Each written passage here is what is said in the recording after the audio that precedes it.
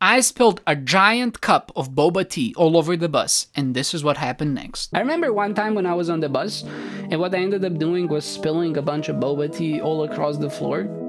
And I was like, oh man, I gotta clean this up.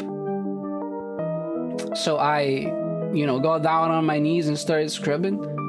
And then one woman was like, oh, you, you're so nice. Your mother really raised you well. And I was so mad at that comment because it's like, you see my mom cleaning the mess she caused? If, if anything, my mom caused me to be clumsy. I'm the one taking off responsibility. And then my second thought was, if I killed you, I bet that you wouldn't blame my mother for that, but you would blame me.